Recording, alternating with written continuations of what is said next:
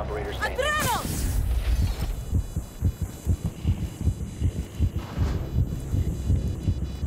Lesions hiding in that corner in workshop by the locker.